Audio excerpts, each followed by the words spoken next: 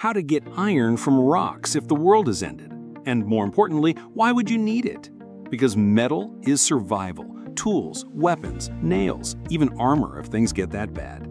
Here's the fix junk science meets caveman blacksmith.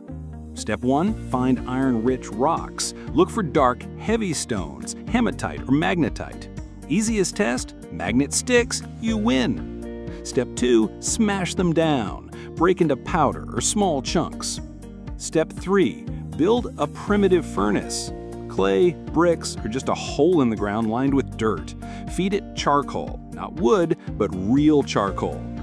Step 4 Heat like hell. Blast air with a pipe, bellows, or even hand pumped junk. The hotter the better, think 2000 degrees Fahrenheit. As the rocks melt, iron separates. You'll see black slag waste and little glowing lumps of metal, your survival treasure. Congrats, you just forged raw iron from rocks. It's dirty, it's slow, but in the wasteland, it's the closest thing you've got to current.